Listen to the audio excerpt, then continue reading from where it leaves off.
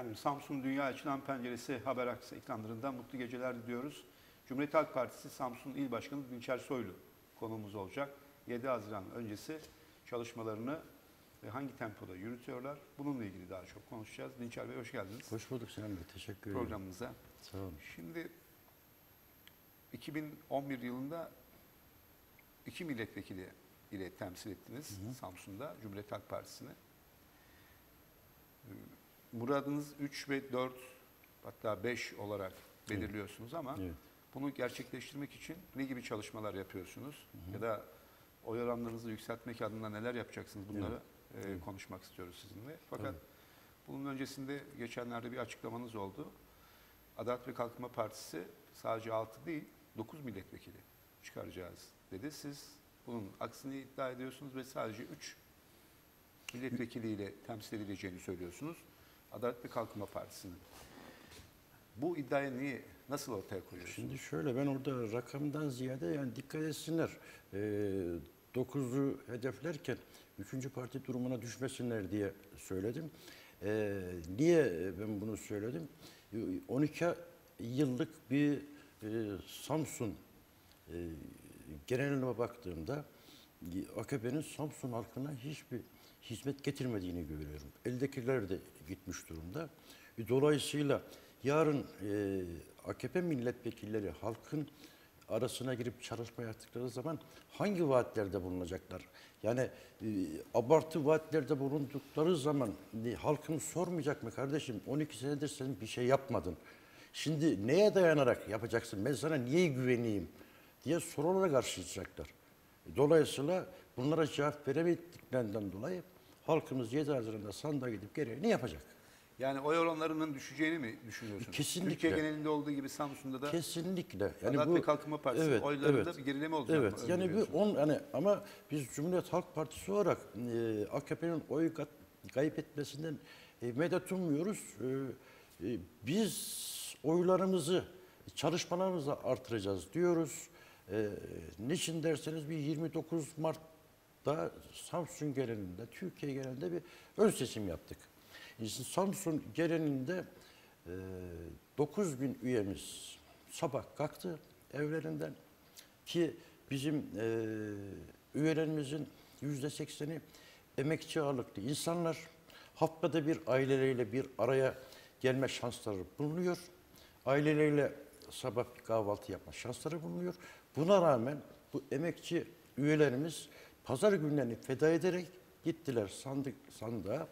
E, iradelerini yansıttılar. 9 milletvekilimizi belirlediler. Yani 9 bin tane parti emekçimiz e, özveriyle kalkıyor sabah gidiyor. Hiçbir menfaat beklemeden, hiçbir e, maddi bir şey beklemeden özgür iradesi oyunu kullanıyor.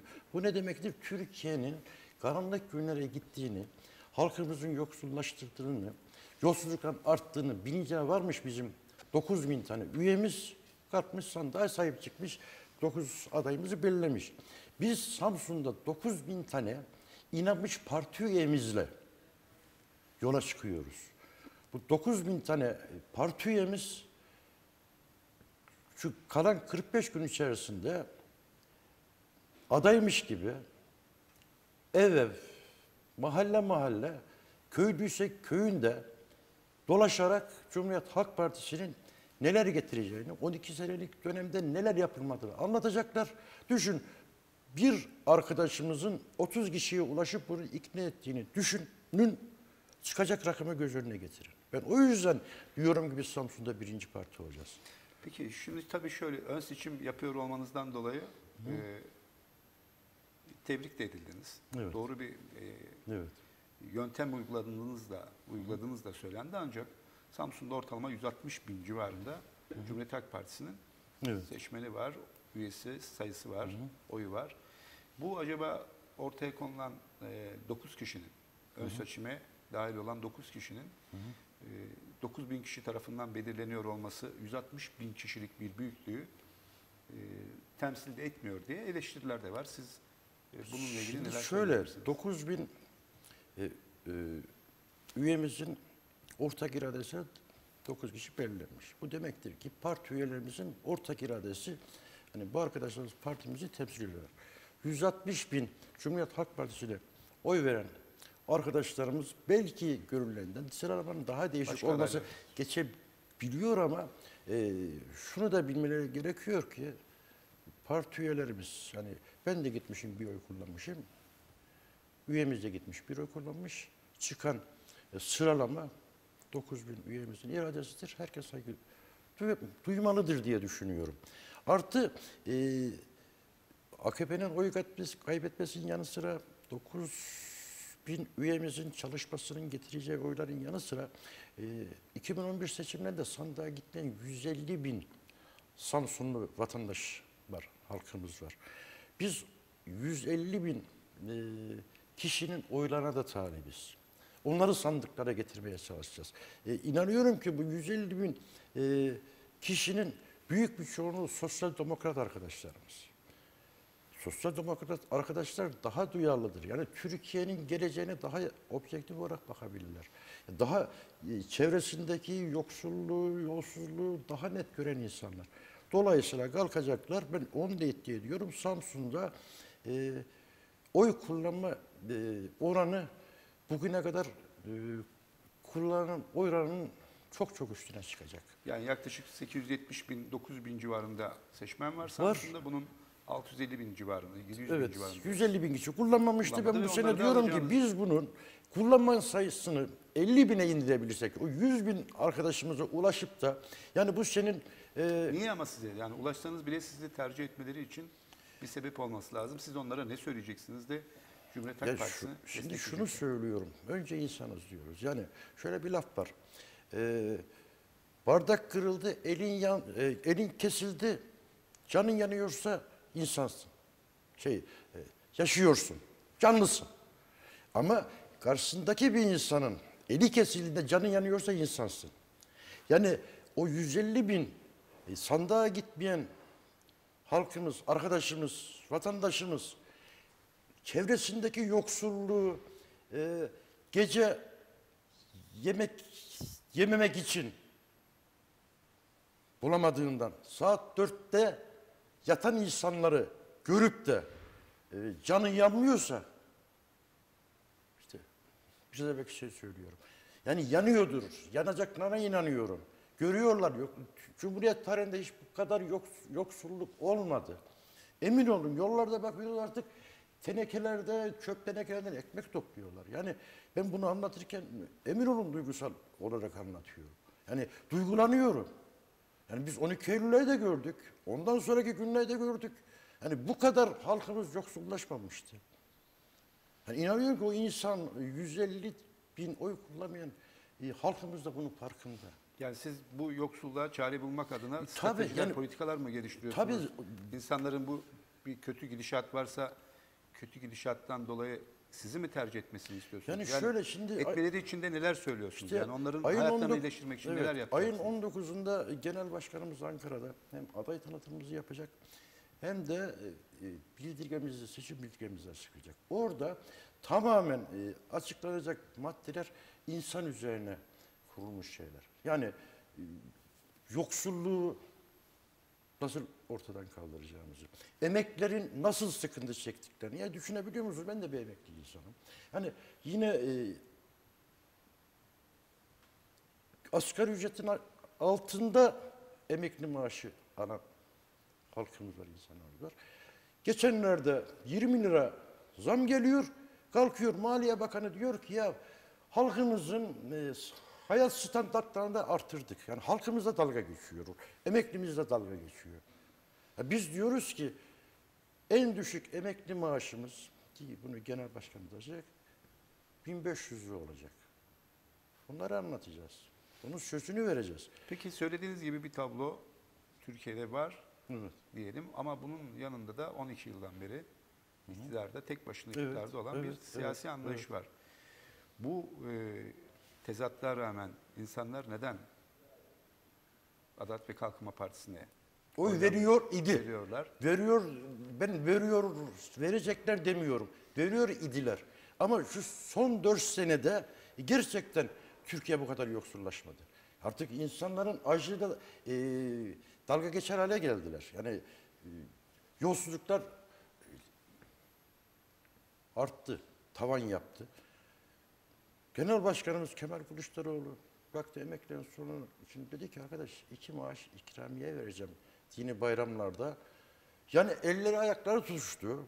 Ya ne yapsak beş maaş verelim desek inanmayacaklar. O zaman diyecekler ki emekli arkadaşlarımız arkadaş verebiliyordun da bugüne kadar niye vermedin? Kalktılar işte e, yok 900 lirayı 1000 liraya tamamlayacağım. Bu küsürler onu vurduğun zaman yine 20 lira 30 lira ediyor. Yani eğer e, 970 liraysa 990 liraysa 1000 lira 10 lira gibi diyemiyorlar. Vay efendi kaynağı nerede bulacaklar? Kılıçdaroğlu Genel Başkanımız kaynağını da açıkladı. Yani artık e, paniğe kapıldı şey e, AKP. Göreceksin. oy kaybedeceğini düşünüyorsunuz. Kesinlikle. Peki siz dönüp Cumhuriyet Halk Partisi olarak öz eleştiri yaptığınızda biz acaba daha farklı çalışma sistemleriyle, yöntemleriyle bu söylemiş olduğunuz kara tabloyu ortaya koymuş bir siyasi anlayıştan daha başarılı olmak için biz de öz eleştiri yapıyoruz. Daha farklı çalışma yöntemleri belirlemeliyiz. Evet. Bu mesela e, en son adayları belirleme sürecinde de e, çok yoğun bir şekilde e, iktidar partisinin adaylarını sahada çok daha fazla görmüşken Cumhuriyet Halk Partisi'nin adaylarının biraz daha geriden takip ettiğini gördük. Yani buradaki anlayışlar mı değişecek? Teşkilatlardan mesela kırsaldan Samsun özelinde konuştuğumuz zaman e, Cumhuriyet Halk Partisi'nin çok da e, ciddi bir oy oranına sahip olmadığını görebiliyoruz. Evet. Buralarda durumu e, kendi lehinize çevirmek için neler yapmaya çalışıyorsunuz? Neler planlıyorsunuz? Halka kendinizi farklı bir Cumhuriyet Halk Partisi olarak Evet. nasıl anlatacaksınız ki insanlar dönsünler Evet. sizin söyleminize göre o kötü inşaatı Yani şimdi e, değiştirsinler ve size oy versinler. Şimdi şeyi söylüyorum. E, ayın 19'unda genel başkanımız açıklayacağı bildirge Türkiye'ye tüm adaylarımızın ortak çalışma hedefleri olacak. Onun e, üzerine yoğun çalışma yapacağız. E, kırsalda çalışmalarımıza biraz daha fazla ağırlık vereceğiz. Şu an ilçelerdeki örgütlerimiz bu konuda hazırlık yapmış durumdalar. Komisyonlarla kurmuş durumdalar. E, ayın 20'sindeki startı bekliyorlar. E, kesinlikle köyde gidilmedik bir köyümüz kalmayacak, gidilmedik hanemiz kalmayacak köylerde. Ve e, şimdi niye gitmek zorundayız? Anlatmak zorundayız biz köylüye. Şimdi AKP ne getirdi bu 12 senelik dönemde? Hani e, şehirlerde genelde yoksulluğu getirdi ama e, köylü vatandaşımıza çok daha ağır yükümlülükler getirdi. Yani ata, nedir bu? Atalarından kalan meralar ellerinden gitti. Yani köy tüzel kişiliği ellerinden kalktı gitti. İmece usulüyle köyde kalkmışlar e, ortak e, köy odası öğretmen varsa köy lojmanı imama lojman yapmışlar. Geçen gün bana bir köyden gelen bir arkadaşımız serzenişte bu- bulundu bu konuda. Öğretmene diyorlar ki ya hocam gidip gelme. Gel lojmanda şey lojmana yerleşecek belediye diyor ki büyükşehir Belediyesi dur diyor ya sizin değil ki diyor. O diyor benim. Bana diyor ne kira ödeyeceksiniz? Ya bütün şehir olduktan sonra Tabii yani şimdi tabii bütün şehri getirmiş. Yasayı ortaya koymuş. Köylümüz henüz daha bunun farkında değil. Ama farkında olan köylerimiz var. E, meraya çıkarıyor. Otlatacak kendi e, ortak menası yıllarca e, 300-400 seneden beri o köyler, e, meralar onların ortak malı. Diyorlar ki bir dakika ya çevirmişler etrafını. İstanbul'da da oldu basına da yansıdı. Dur diyor ya sen ne yapıyorsun? İzin aldın mı? Burası bizim kendi malımız diyor. Belediyenin malı. Yani düşün, hani kendi toprağını kullanamaz hale getirdiler. Bütün şehir yazısında bu köy tüzel kişiliğini niye kaldırdılar? AKP'nin 12 senelik dönemde sata sata özelleştire yapacak şeyleri kalmadı. Ellerinde bir şey kalmadı. Şimdi e, tabii Samsun'da ve e, Karadeniz'deki bazı şeylere de sıra gelecek ama Ege'deki o köyün e, turistik yerlerdeki köy halkının elindeki meraları veya köy halkının elindeki e, toprakları alıp ihaleye çıkarıyorlar dikkat edin fark edin. Yani köylü vatandaşımız bunu artık görecek. Biz de onu e, arkadaşlarımız gittiğinde arkadaş işte bak Meran elinden gitti. Bak su saati taktılar sularına. e, eskiden istediğin yere ev yapıyordun, bina yapıyordun. Hadi şimdi git bakayım İskan parasını ödemeden yapabiliyor musun diyecekler. Eskiden tarlasına vergi vermiyordu. Şimdi tarla arsa pozisyona geçtiği için vergisini ödeyecek. Bunu ertelediler şu seçimler olduğu için. İki, beş sene erteledi ama kaldı iki senesi. Yani bina dikemeyecek. Çöp vergisi verecek. Yani ben istasyon mahallesinde oturan bir insan olarak nasıl vergi veriyorsam çöp vergisi, temizlik vergisi, yol vergisi aynısını hizmet götürülmez de- halde verecekler. Yani köylü daha mağdur olacak bu işlerde. Yani biz bunları tek tek anlatacağız. Ne getireceğini ne götüreceğini anlatacağız. O zaman da artık onlar da diyecekler ki ya biz bilmiyorduk nasıl oldu. Emin olun o yasa çıktığında hani köy tüzel kişinin işte özel idare devredildiği zaman muhtar imza atmış ama onun da farkında değil ne imza attığını. O sanıyor ki hala işte köy meraları bizim elimizde. Yok bitti. Yeni öğreniyorlar o tepkileri de alıyoruz yani. O tepkiler yarın AKP e, aleyhine sandığa dönüşeceğine inanıyorum. Peki halkın milletvekili tanımını geçenlerde ortaya koydunuz ve e, seçilen vekillerin Ankara'dan e, buraya gelmiyor olmasını eleştirerek bu tanımlamayı yaptınız. Halkın milletvekilinden neyi anlamamız gerekiyor? Ya şimdi halkın milletvekili e, şöyle, şimdi halkın valisi olmalı. Halkın kaymakamı olmalı. Halkın belediye başkanı olmalı. Halkın savcısı, hakimi olmalı. Dolayısıyla halkın milletvekili olmalı. Biz bugün e, bazı makamları e, halkın değil de AKP'nin e, makamları gibi kullanıldığını biliyoruz. E bunu da eleştiriyoruz. Biz diyoruz ki bizim milletvekillerimiz Cumhuriyet Halk Partisi kimliğiyle kazanıp meclise gidecekler ama halkımızın bize oy veren vermeyen kim olursa olsun ona hizmet etmek zorunda. Çünkü seni halk seçiyor burada. Oy vermemiş olabilir. Şeylik yok, e, partizanlık yok. Ben gittim mi bana hizmet edecek CHP oy vermeyen vatandaşlar ona hizmet edecek, etmek zorunda. Yani biz diyoruz ki yani her şey saydığım biraz evvel saydığım makamlar nasıl halkın olmalıysa milletvekili de halkın milletvekili olmak zorunda. Yani yoksa niye seçiliyorsun? Yemin ederken diyorsun ki zaten ben vatandaşım o halkın her türlü hizmetine diye yeminin de var. Yani oraya gidip de Samsun'da bir iş yeri olsun, bir ihale olsun veya şey yatırımda eğer şey yapacaksan, partizanlık, parti ayrımı yaptığı hizmet edeceksen yapma kardeşim o kimliğini o zaman bırak oraya. O yüzden ki bizim e, sıralamadaki arkadaşımız da halkın milletvekili olacaklarını taahhüt edip o şekilde çalışmaya girdiler.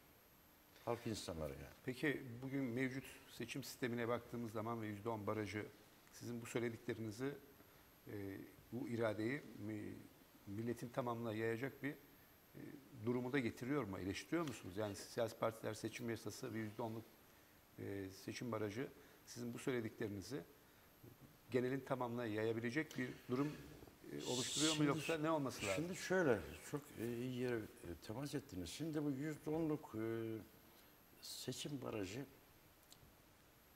12 Eylül faşizminin yapmış olduğu anayasadan kalma bir baraj. Bir sistem. Yani biz e, bunu genel başkanım da her zaman söylüyor, biz de bunu savunuyoruz.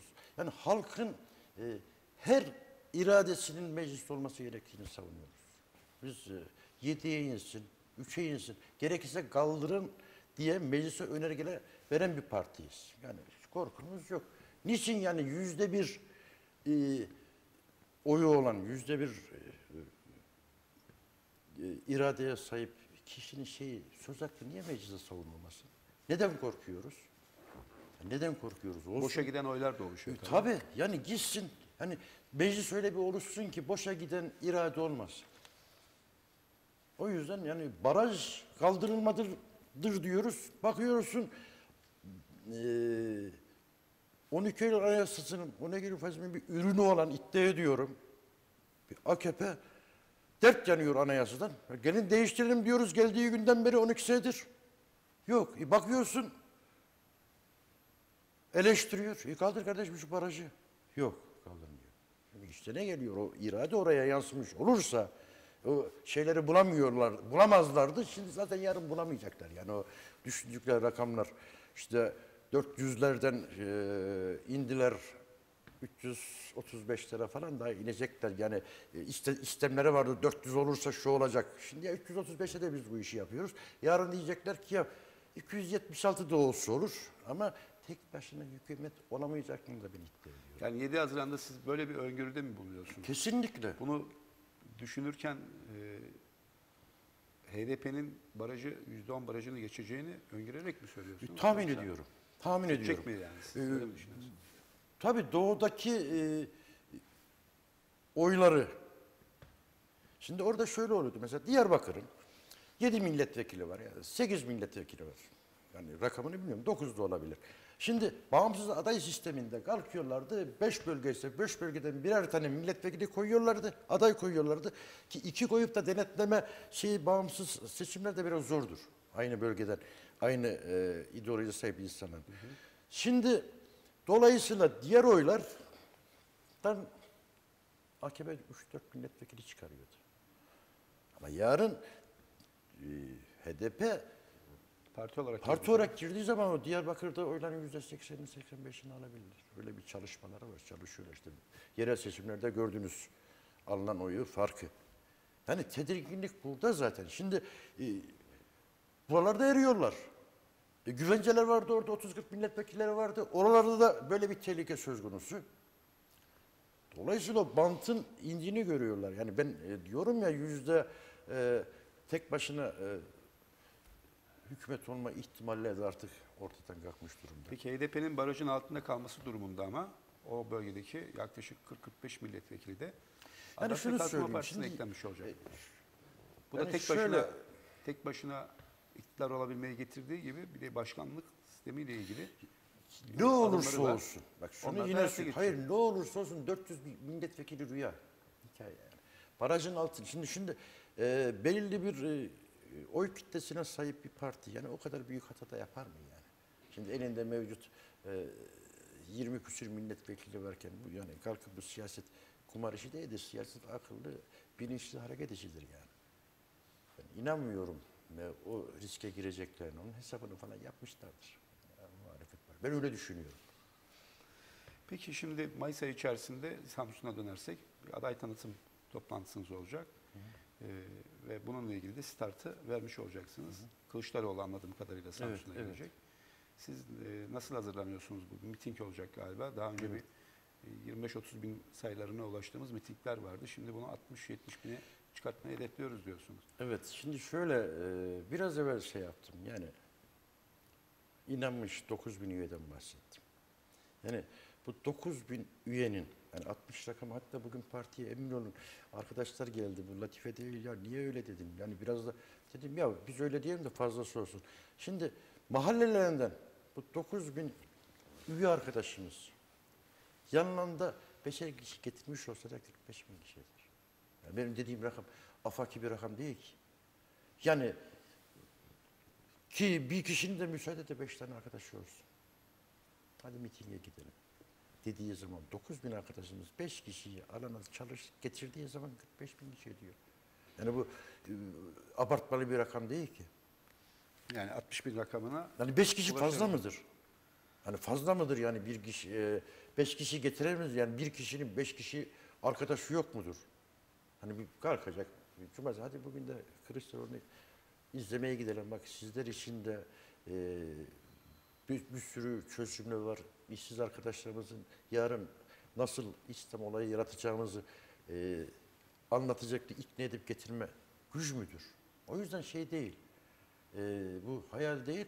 Ben 60'ı da geçeriz diyorum. Yeter ki arkadaşlarımız e, aynı inançlıkla çalışmalarını yapsınlar ki yapacaklarına inanıyorum.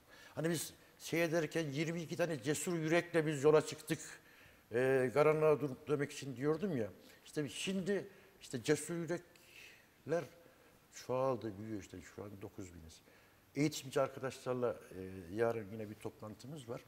E, ilanlarla işte yine şeylerle biz e, gönüllüler eğitimi alacağız. Gönüllü eğitimi alacağımız arkadaşlar ki bu hedefimiz sanıyorum e, 800 ile 1000 arası olacak. Yetişmiş, eğitimden geçmiş, 800-900 tane arkadaşımız kendi bulunduğu evlerde, sitelerde, apartmanlarda e, görev alanı orasıdır. Apartmanda aldığı eğitime insana yükletmeye çalışacak. Yani çalışmamız bu yoğunlukta birebir anlatarak, birebir broşürünü dağıtarak. Yani o yüzden ben ona güveniyorum. Ben parti yani üyeme güveniyorum. Emin ol. Yani e, niye güveniyorum? Benim bizim üyemiz Cumhuriyet Halk Partisi'nin üyesi inanmış insanlar. Hiçbir maddi bir şey bekleyen insanlar değil. Yani yıllardır 12 senedir e, Cumhuriyet Halk Partili oldukları için belki çocukları işe giremedi, iş bulamadılar, dışlandılar, e, ihale alamadılar. İşte işe e, bir temizlik işine dahi giremediler. Buna rağmen bu arkadaşlar 9 bin kişi sandığa gidip oy kullanabiliyorsa, iradesini yansıtabiliyorsa işte Samsun halini siz düşünün ki bunu da e, 60 AKP yakalayacağız diyorsunuz. Ama şimdi 2007 yılında e, yaklaşık 109 bin kişinin oyunu alarak iki vekil çıkardınız. Evet. 2011 senesinde de bu rakam 162 bine çıktı. evet, Yine iki vekil çıkardınız. evet. Ee, 30 Mart yerel seçimlerinde baktığımız zaman e, istenilen belki performansı gösteremediniz ama önemli yerleri kaybettiniz sizin açınızdan. Yani Evet. Atakum gibi, Tekeköy gibi önemli yerleri Cumhuriyet Halk Partisi'nin yönetimindeki yerleri kaybettiniz. Bu kaybetmenin e, sebeplerini araştırdınız mı, buldunuz Tabii mu? yani şunu söylüyorum. Ee, o kaybedilmiş mevzileri sizin açınızdan ele geçirmek için neler planlıyorsunuz? Şimdi şöyle neler söyleyeyim. Şimdi biz e, bir Atakum'u kaybettik. E, bir e, Tekeköy'ü kaybettik ama biz e, Diğer çevre bir, ilçeler de var. hayır bir dönem evvelki aldığımız oydan fazla aldık. Üçer bin, dörder bin oy fazla aldık. Bizim oyumuz arttı orada. Ama AKP'nin e, seçim kazanma ve e, köy tüzel kişiliğinden nemalanmak için getirmiş olduğu Bütün şehir yasası. bütün şehir yasasının diyorsun. dolayısıyla yani bizim belediye o şekilde kaybettik. Yani zaten onlar yerel seçim havasıyla bu işe şey yaptılar. Yoksa Metin Bey de, e, Hayati Bey de e, oylarını artırmış. O civarda sevilen arkadaşlarımızdı, sevilen belediye başkanlarımızdı. Yani biz oy kaybıyla şey yapmadık ki orayı. Yani Ama kaybetmedik sonuçta ki. oraları kaybetmiş oldunuz. Kaybetmiş olduk. Tabii bu bize bir ders oldu. Ders oldu. Ee, Bundan sonraki çalışmalarımızda 7 Haziran'dan sonra zaten iktidarın e, e, sahip bir parti olarak da daha dikkatli, daha aktif çalışmalarla bu işi götüreceğiz. Zaten e, bu şeyde de olacak. Biz köy tüzel kişiliğini de geri vereceğiz. Bu ellerinden alınan tarlalar, topraklar, binalar e, köylüye iade edilecek. Muhtarlığa diyecek ki siz aynı tüzel kişiliklerinizi taşıyacaksınız diyeceğiz yani. Hani bu ne kadar Türkiye'de e, partizanca yapılan yanlışlar varsa hepsini ortadan kaldıracağız yani 7 Haziran'da iktidar olduktan sonra. Diyorsunuz ki 160 bin oyu nasıl fazlalaştıracaksınız da şey olacak. Yani şimdi bir emeklere bir vaadimiz var. Diyoruz ki iki maaş ikramiye vereceğiz. Şeyimiz e, maaş art, artışınız pimpon topunun, bilardo topunun, işte raketin falan ortalamasıyla alınan enflasyon değil, e, gıdanın gelen enflasyona göre ayarlanacak. Şimdi bakıyorsunuz ya yüzde üç enflasyon zammı. Ya Allah aşkına ya peynir olmuş yüzde altmış artmış. E, ete gelmiş yüzde otuz zam, elektrik yüzde yirmi zamlanmış. Hava gazı olmuş yüzde otuz beş zam. Sadaka niyetine, sadaka da değil. Yüzde üç zam. Enflasyon zam mı? Ya bir şey nedir bu? Enflasyon içine niye girmiyor bu? Elektriğiydi, peyniriydi, zeytiniydi, ekmeğiydi. Ekmeği yüzde otuz zam. Emekliye verilen zam yüzde üç. Ya bu halkımızla alay etmektir. Biz diyoruz ki, e, ki genel başkanımız da geçenlerde şey yaptık. Noter huzurunda kalkmış beyanlama vermiş burada. Görüyorsunuz.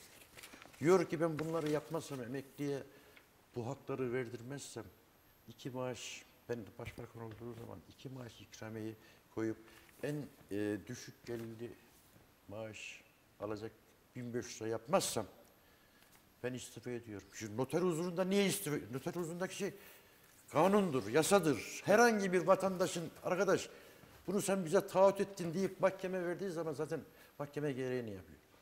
O Tabii yüzden bu bunlar söyleniyor ama işte bunun karşında da bir kaynak evet oluşması gerekiyor, var olması gerekiyor. Var olan kayma, kaynağın e, çarçur edileceği konusunda da eleştirilere tabi kalıyorsunuz. Şimdi hangi yani Türkiye'de ne e, kaynak kalmış da neyi çarşur edecekmişiz? Şimdi şey söylüyor ki bu konuda da ben e, buraya gelmeden evvel bir çalışma yaptım. Diyor ki biz geldik Türkiye'deki dış borçlar düşürdük. Dış borcumuz vallahi düşürdük diyor. Araştırıyorum, bakıyorum. Doğru. Bir düşme var. 2002'de Merkez Bankası'nın borcu 22 milyar dolarmış. 7 milyar dolar düşmüş. Yani 15 milyar bir dış borcu azaltmışız. Öbür tarafta eee, özel sektörün dış ticarete olan borcu 2002'de 129 milyar, bugün 336 milyar dolar. Yani şimdi sen Özel sektörün borcu tabii senin garantörün olduğun bir sektör bu kadar borca giriyorsa hani niye takkiye yapıyorsun? Yani orada 15 milyar şey yapıyorsun. Burada bırak iş borcu da daha saymıyorum. Hani iş borcu, devletin iş borçları, bankaları e, borçlanması onları saymıyorum. Yani bir 15 milyar ödenmiş de o düşmüş de Merkez Bankası'nın borcu. Ya artmış. Trilyonlara gitmiş. 129'dan 330'lara çıkmış milyar dolara. Bunları niye söylemiyorsun? Ya biz kaynak diyorsun işte kaynak. 2002'de olay buysa şimdi 320'ye çıkmışsa kaynak aşağı indirmek borçlarımızı. Şunu yapmak. Bunların borçların şeyi bunların faizi zaten e, ödenmedikçe borcu ikiye kat, üçe kat. Hem basit kaynaktan bahsediyorum. Peki ilçe teşkilatlarına da dönelim biraz da. Oralarda nasıl hazırlanıyorsunuz? Yani ilçe teşkilatlarınız İktidar Partisi'ne baktığımız zaman gençlik kolları, kadın kolları çok yoğun bir şekilde sahada insanlarla birebir ilişki kurarak Evet. hmm, propagandalarını yapıyorlar. Evet. Siz teşkilatlarda e, istediğiniz noktada mısınız? Yani Tabii. Şimdi bizim biraz evvel e, yine vurgulamıştım, yine söylüyorum. Bizim gençlik kollarımız var çalışma içerisinde. Kadın kollarımız var çalışma içerisinde. Örgütlerimiz yapılarını yapmış, e, komisyonlarını kurmuş. e, hazır stat bekliyorlar. E, starı da 20 Nisan'dan sonra vereceğiz. Şimdi niye gençlik kolları e, şeyde gözüküyor? Yani bir beklentisi var gençliğin. AKP gençliğinin.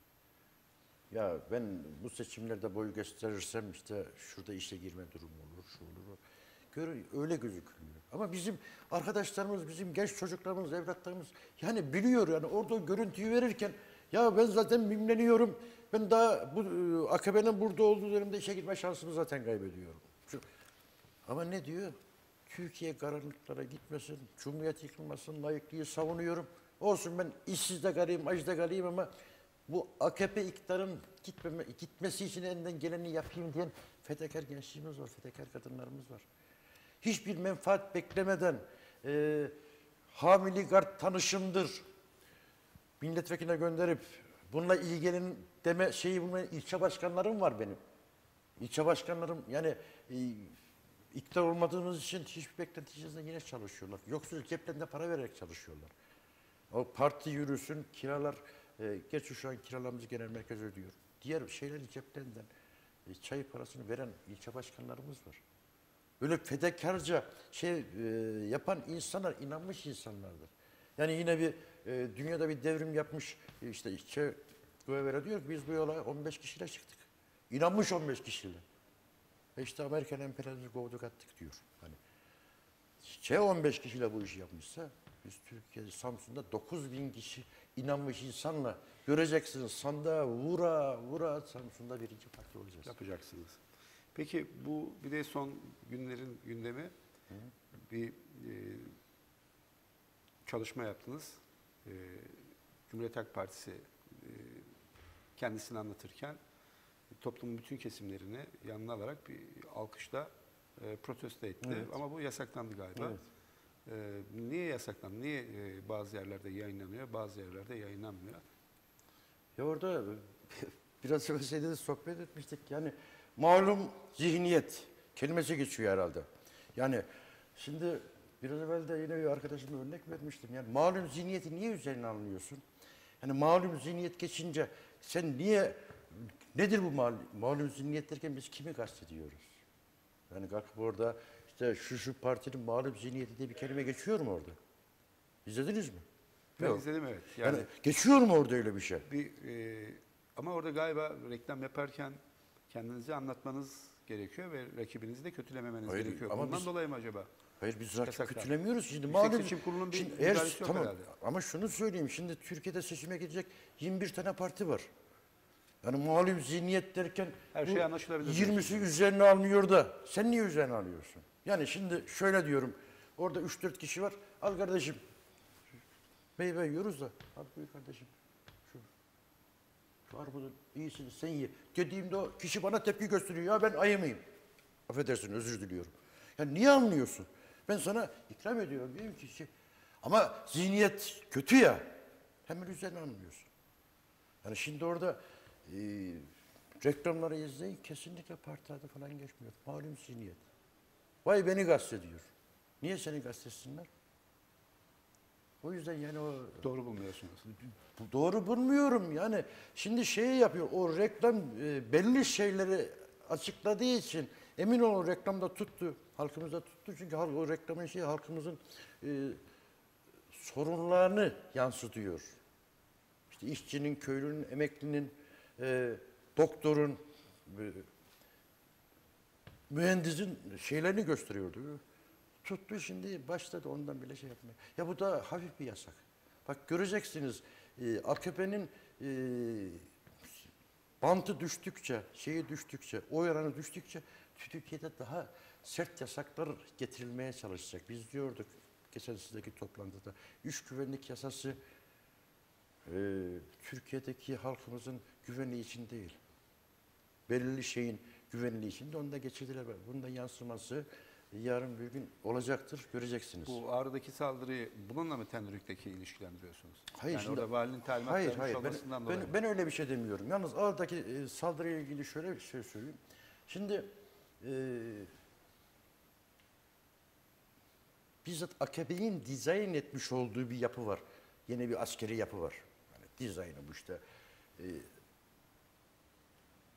terfi edecekleri işte bir Ergun Gündaması içeri girdiler çıktılar. Böyle bir şeyle bir yapı ortaya çıktı. Şimdi bu yapının yani askeriyenin e, genelkurmayın basın sözcüsü Tuğgeneral e, açıklama yapıyor.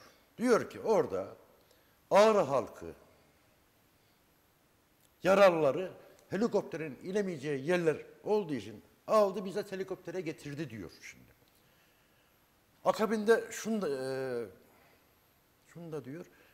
Oraya yaralılara yardım eden insanlar basına yansıdığı gibi canlı kalkan değillerdi de diyor. Ama kalkıyor. Sayın Cumhurbaşkanı diyor ki yok öyle bir şey. Öyle bir şey olmadı diyor. Onlar taşımadı diyor. Ya orada şimdi askeriye e, as, aslında yani teğmenden işte yüzbaşıdan albaydan bir rapor almadan bu konuda açıklama yapabilir mi? Ki şeye de yansıdı. Televizyonlarda gördü oradaki görüntüleri. Hani ben bir şey demiyorum. Onu şeyini takdirini ben e, halkımıza bırakıyorum. Yani genel kurmaya açıklama yapıyor. Sen ya şu bir e, yetkili bir kişi şöyle sevmesi lazım. Ya düne kadar işte e, yerli doğudaki işte e, kişiyle asker arasında bir sürtüşme vardı. Yani bir çatışma vardı. Ama bak bugün yaralılara daha o insanlar sahip çıktılar.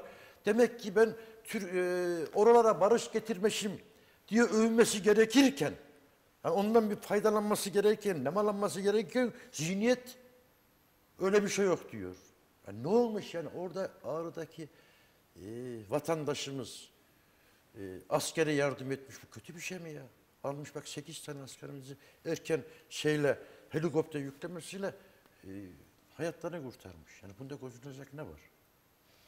Peki şimdi en son e, Öcalan'ın yapmış olduğu özerk ve otonom bir sistem istemiyoruz biz açıklamasını siz olumlu bulduğunuzu ve bunun e, Türkiye'deki e, tesis edilecek barış ortamı için önemli bir söyleme olduğunu söylediniz ama aynı zamanda da başkanlık ve eyalet sistemi e, riskini de tehdidini de ortaya koyarak Başbakanın ya da Cumhurbaşkanı'nın bu konuda e, farklı düşündüğünü söylediniz. Siz e, Türkiye için başkanlık sisteminin e, hayata geçmesi konusunda neden endişeler taşıyorsunuz?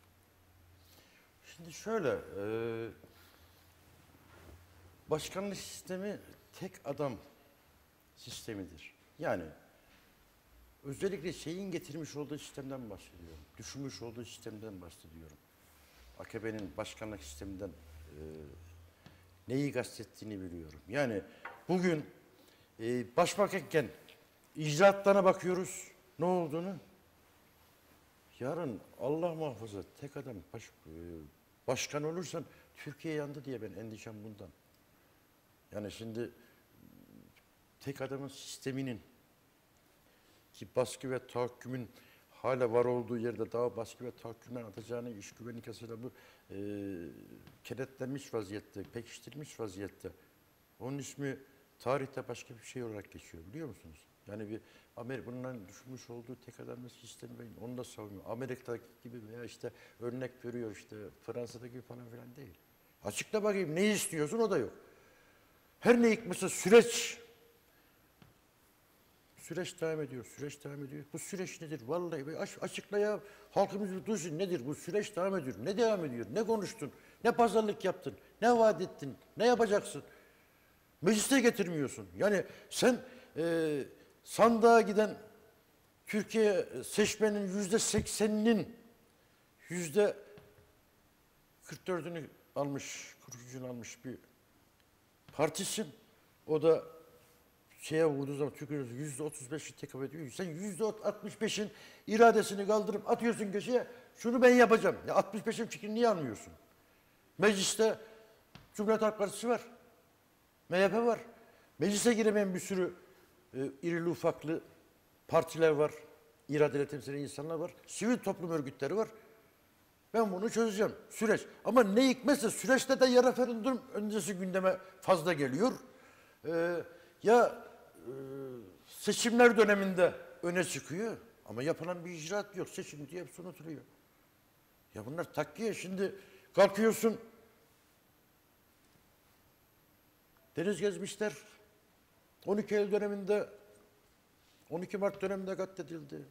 İşte 17 yaşında Erdal Eren idam edildi. Yine sağ kesimden Mustafa Pehlivoğlu, Pehlivanoğlu asıldı diye yalan gözyaşı yaşları akıtıyorsun. Ona canı gönülden gözyaşı akıtan insanlar lise çocukları, lise yaşında talebeler, üniversite çocukları sen copyarak içeri atıyorsun. E yeter yani halkımız bıktı artık bu takkiyelerden şundan bundan yani. Artık yok inandıramıyorlar. Yani bu takkiye yemiyor artık halkımız. Artık bunun bilincinde bunu da 7 Haziran'da yansıtacak diyorum. Yansıtacak Sinan Bey. diyorsunuz. Evet kesinlikle. Peki, şimdi ilerleyen zamanlarda daha e, somut çalışmalarınızı e, s- adaylarınızla e, konuşma şansı bulacağız. E, bu akşam için e, sonlandıralım sohbetimizi. Tamam. Teşekkür ediyoruz. Ben teşekkür ederim. Çalışmalarınızda çok sağ e, olun. başarılar Çok- diliyoruz. Çok teşekkür ediyorum. Ee, AKES'e televizyonuna ve e, burada çekimde yardımcı olan AKES'e emekçi kardeşlerime emeklerine dolayı teşekkür ediyorum. Size de çok Biz, teşekkür biz teşekkür ederiz. Sağ İyi çalışmalar Sağ diliyoruz. Değerli izleyiciler, Dinçer Soylu Cumhuriyet Halk Partisi Samsun İl Başkanı konuğumuzdu. Kısa bir ara vereceğiz. Ardından Milliyetçi Hareket Partisi'nin İl Başkanı Ömer Süslü'yü konuk edeceğiz. Onunla konuşacağız. Bu sürece nasıl hazırlandıklarını kısa bir ara veriyoruz.